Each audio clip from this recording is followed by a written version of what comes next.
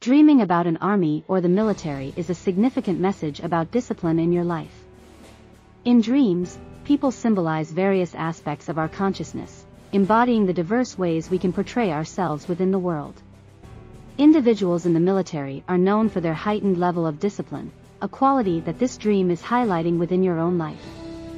This dream is essentially a wake-up call, urging you to pay closer attention to your personal level of self-discipline. It might be highlighting the necessity to foster more self-discipline in your daily routine or acknowledging the disciplined approach you have been maintaining lately.